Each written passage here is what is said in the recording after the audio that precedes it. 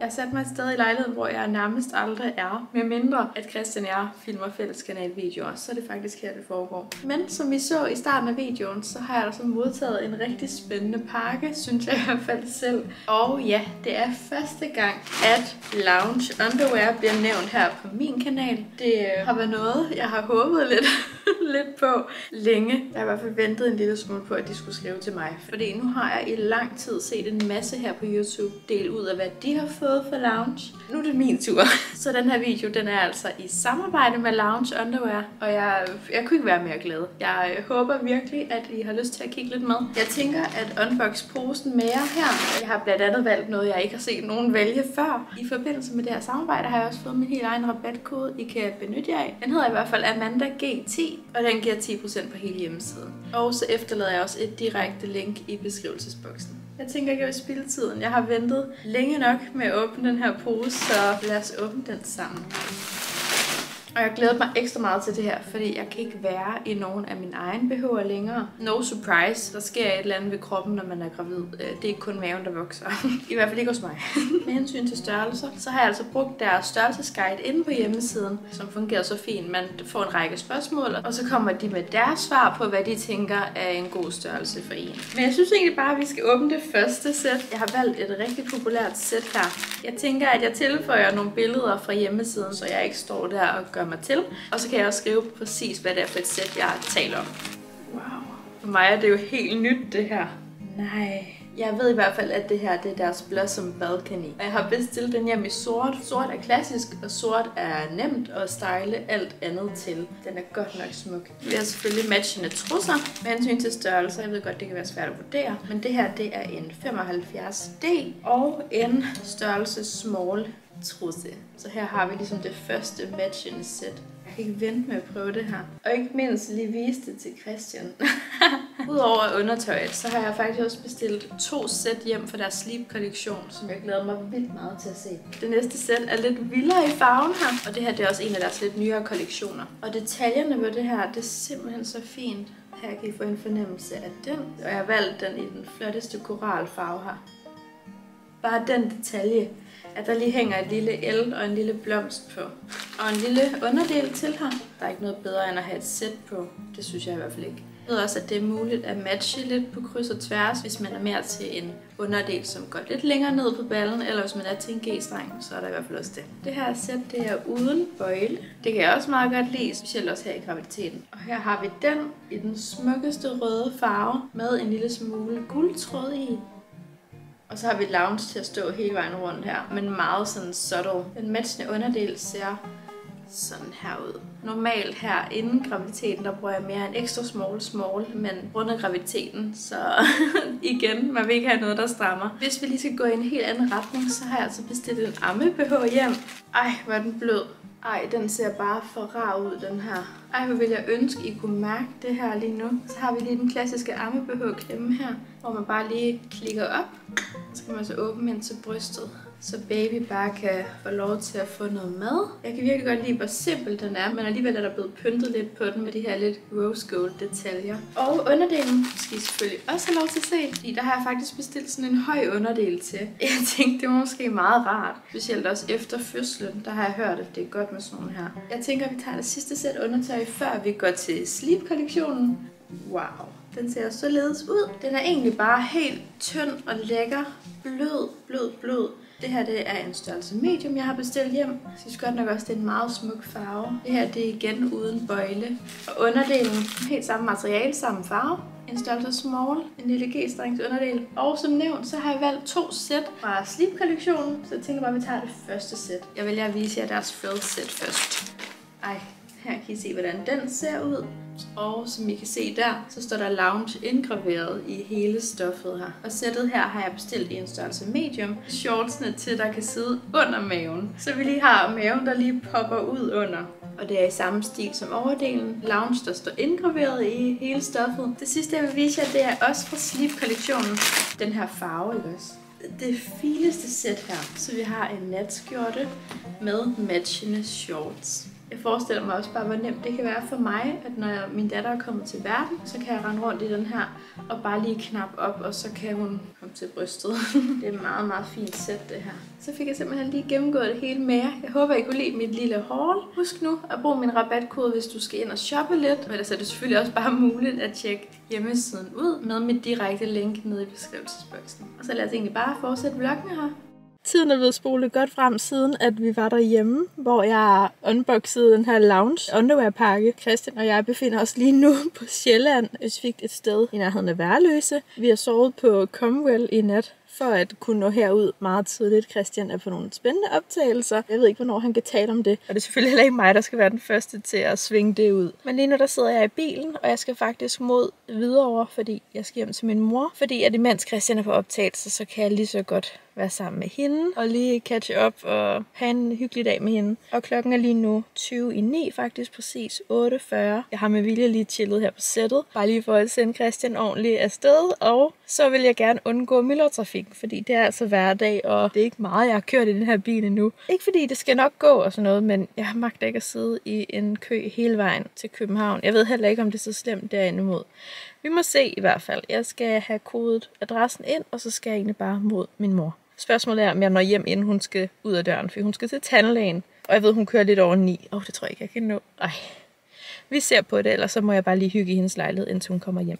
Jeg hopper lige ind her og siger, at det gik altså så fint med at køre bilen hjem til min mor. Og utrolig nok, så nåede jeg det faktisk lige på et hængende hår. Hun kom direkte ned på parkeringspladsen, tog imod mig, og så kørte vi altså til tandlægen. Og da vi kom hjem fra tandlægen, fik vi lidt at spise, vi fik lidt at drikke, fik talt en masse. Og så skulle min mor altså lige prøve en tur i den nye bil. Det vil så sige, at hun sad ved siden af, og så kørte vi en tur i Rødovre Centeret, som er mit gamle stamcenter.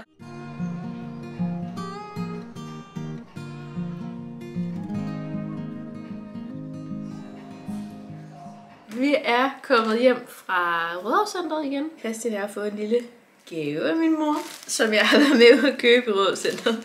Vi har nemlig fået en pusletaske.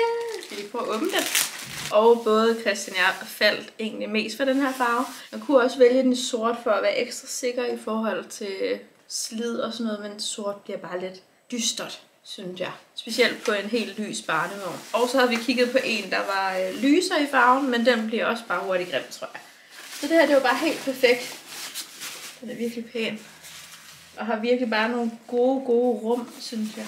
Jeg synes virkelig, den er pæn. Det var i hvert fald bare lige en opdatering. Nu skal jeg have noget at drikke. Kommer Christian her hjem inden længe. Han har i hvert fald skrevet, at de er færdige med optagelser. Det bliver spændende at høre. Og så sidder jeg lige pludselig her. Vi landede i Odense igen. Christian kom hjem på optagelser. Min mor og jeg fik hørt lidt om det. Vi fik mad. Dagen efter var Christian og jeg sammen med et vennepar, som faktisk også venter en lille pige. Dog har de termin tre dage før os.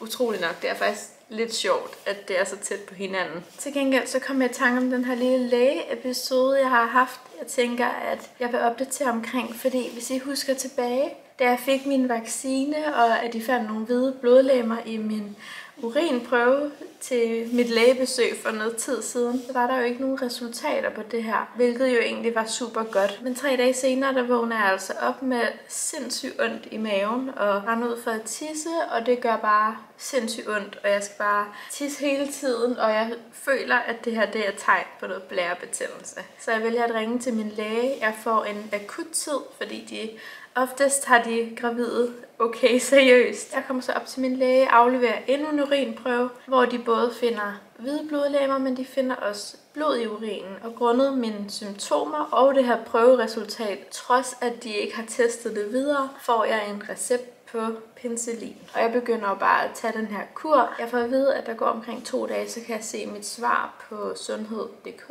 Og jeg begynder jo bare på den her kur, som jeg har fået besked på. Om fredagen tjekker jeg efter mit svar, hvor der ikke er kommet noget. Dog senere på dagen fredag, der står der, at der ikke er fundet noget i den her prøve. Og her bliver jeg mega forvirret, og jeg tænker, jamen, hvad er det så? Og det skal lige siges, at den her penicillinkur dur i princippet, men, men pillernes virkning aftager dog rimelig hurtigt. Altså før jeg når at tage den næste i løbet af dagen. Man tager sådan tre om dagen, når man er på sådan en kur. Og det er jo ikke meningen, specielt ikke efter flere dage. Og da jeg får de her svar om fredagen, så kan jeg jo ikke kontakte min læge, fordi der er lukket, så om lørdagen, hvor jeg stadig har rigtig ondt, der ringer jeg faktisk til lægevagten, hvor jeg fortæller hele min situation og hvad der er foregået og alt det her. Og han siger jo selvfølgelig med det samme, jamen jeg har jo ikke blærebetændelse, så jeg skal bare stoppe på de her piller. Og jeg føler egentlig ikke, at jeg får sådan klar besked om, hvad det så kan være, eller hvad skal jeg så gøre, fordi det er jo det eneste, der sådan også holder smerterne nede. Trods at de ikke virker lang tid ad gangen, så det er jo det, der gør, at jeg ikke har lige så ondt med de her blærebetændelsestegn, symptomer, whatever. Men jeg skal altså stoppe på det her, og så hvis det stadig er slemt om mandagen, skal jeg tage til lægen der. Men det er altså både lørdag og søndag, jeg så skal døje med det. Det gjorde jeg, fordi han sagde, så længe jeg mærker liv i maven, og han er aktiv, så er han ikke bekymret. Og selvfølgelig også, at der ikke skal være nogen blødninger. Fordi ellers så skal jeg selvfølgelig kontakte dem og komme ud og blive tjekket. Men fordi jeg mærker liv, og jeg ikke bløder, så tænker jeg jo bare, så skal jeg bare holde de her smerter ud, hvilket jeg gør. Om mandagen, der vælger jeg så at ringe til min læge, selvom at jeg faktisk ikke har ondt om mandagen, og det er altid sådan typisk sådan noget. Den dag, man tager sig sammen til at ringe til sin læge, så, så fejler man ikke rigtig noget mere. Jeg tænker bare, det er meget godt lige at få hørt mig ad og lige få eventuelt en ny urinprøve igennem. Jeg får så endnu en akut tid, kommer op til min læge om mandagen, hvor jeg giver dem en urinprøve, som ikke viser noget som helst. Og her tænker man, er det så penicillin, der har været i spil og gjort, at det, hvad der nu har været, er væk, eller har det vidderligt bare været nogle mærkelige form for smerter i graviditeten. Jeg aner det jo ikke. Men selvfølgelig er det godt, at de ikke finder noget der. Lægen og jeg bliver så enige om, at det måske er meget godt lige at få et gynækologisk tjek. Hun kigger, og alt ser helt fint ud, og der er ikke nogen tegn på noget. Der er ikke tegn på blødninger, der er ikke tegn på livmorene ved at åbne sig, ingenting. Så alt var jo også godt her, trods alt. Jeg får også taget mit blodtryk, og fordi at alt det her er fint, og fordi jeg ikke har ondt, så går jeg med til, at jeg bare kan tage hjem igen, og så bare håbe, at det går lidt i sig selv. Og der er jo så heldig, at det så går i sig selv, og jeg nu ikke har ondt længere, og ikke døjer med de her smerter. Jeg føler stadig, at jeg sidder tilbage med sådan en, hvad var det så? Altså sådan, vi aner det. Jeg aner ikke, hvad det var, der gjorde så ondt. Den dag jeg vågnede og endte med at ringe til lægen og tage til lægen første gang, der havde jeg så ondt. Altså det var virkelig også bare, det var plukvejer, der gjorde sindssygt ondt. Hele maven var spændt. Hun bevægede sig ikke så meget, så meget hurtigt, så tænker jeg, jeg er ved at gå ind for tidlig fødsel eller eller andet. Det gjorde bare næst. Hvad jeg så også hører fra både læge og hvad man kan læse sig til alle de her ordentlige steder, hvis der findes det på nettet, så står der også, at en ubehandlet blærebetændelse godt kan starte en eventuelt for tidlig fødsel. Nu var det jo ikke blærebetændelse, så hvad det er, aner jeg ikke. Jeg er bare glad for, at jeg ikke har ondt længere. Jeg føler i hvert fald bare, at fordi jeg nævnte det i sidste video, at oh, der var ikke noget, og at det så kom hurtigt efter, så føler jeg bare lige, at det var på sin plads lige at tale mere om det, og lige sige, at selvom jeg har det godt og alt det her, så har det bare lige været det her 10 skridt tilbage, i hvert fald i forhold til, at, at jeg ikke lige havde det så godt de dage i hvert fald. Men nu synes jeg egentlig, at alt er lidt på sin plads igen. Jeg, øh, jeg har det godt. Jeg er lige nu i uge 34. Baby har det godt. Det har bare lige været sådan nogle tunge uger, skulle jeg til at sige. Jeg tror, det var en hel uge, hvor der lige var det her ballade. Ja, jeg følte i hvert fald bare lige for at sidde ned. Jeg ved godt, det er måske ikke det mest spændende indhold i verden, men nogle gange så bliver man også nødt til bare lige at sidde ned og så sige, hvad der er på hjerte. Og jeg tænker, at I nok synes, at det er fint lige at få en opdatering. I er virkelig gode og søde til at spørge mig, sådan, hvordan går det, og alt er, om alt er i orden. Og det er det heldigvis igen, men hold nu op, hvor har det været nogle tunge dage. Og på en eller anden måde kan jeg også mærke, at jeg bliver sådan også rørt over at tale om det. Det er også bare en god blanding af hormoner og at være tilpas langt og kende til, at en for tidlig fødsel også sagtens kan ske. Og man håber jo bare også, at ens lille baby har det godt. Jeg har det helt varmt nu. I skal ikke tage af mig.